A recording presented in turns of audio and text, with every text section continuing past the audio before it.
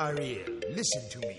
The human world, it's a mess. Life under the sea is better than anything they got up there. The seaweed is always green.